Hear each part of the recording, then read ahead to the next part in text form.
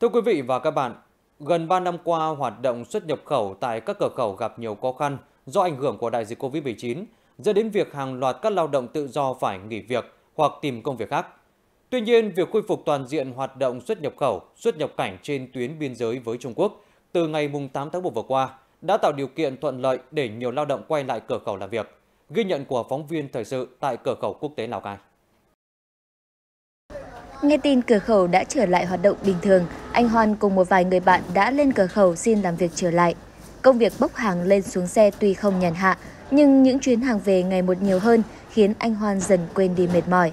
Bởi càng có nhiều hàng cũng có nghĩa là số tiền công anh được trả càng cao. Cửa khẩu chung mở thì nó làm thì nó ít việc hơn. Thì bên Nam Hàn Quốc à, mở thì nó mình có việc nhiều thì đi lại nó làm nó nhiều việc hơn. Cũng giống như anh Hoan, những ngày này, lực lượng lao động tự do trở lại cửa khẩu làm việc ngày càng nhiều thêm. Mỗi người đều mong có thể kiếm thêm thu nhập, chuẩn bị một cái Tết chu đáo cho gia đình.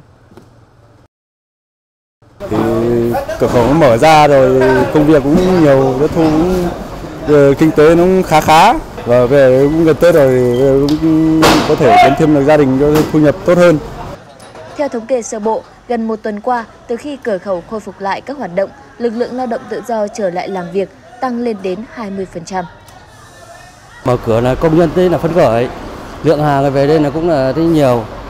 Nói chung là như 3 năm về trước là anh em là cứ tét cứ phải đi tét nào nó không đủ tiền đi tét nhưng mà từ hôm qua này hàng hóa về là rất là nhiều thì công nhân là cũng phấn khởi đi làm cũng đảm bảo ngày vài trăm nói chung là bây giờ thì là cái lượng hàng cái này thì cũng phải phải nhiều công nhân mới làm được Lao động tự do tại cửa khẩu tuy có vất vả nhưng lại mang lại nguồn thu nhập chính cho nhiều người.